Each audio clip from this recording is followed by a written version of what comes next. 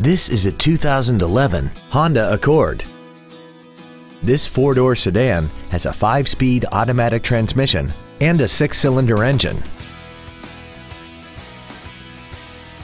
Features include heated seats, a low tire pressure indicator, cruise control, dual airbags, three-point rear seat belts, rear seat child-proof door locks, air conditioning, a folding rear seat, full power accessories, and this vehicle has less than 37,000 miles.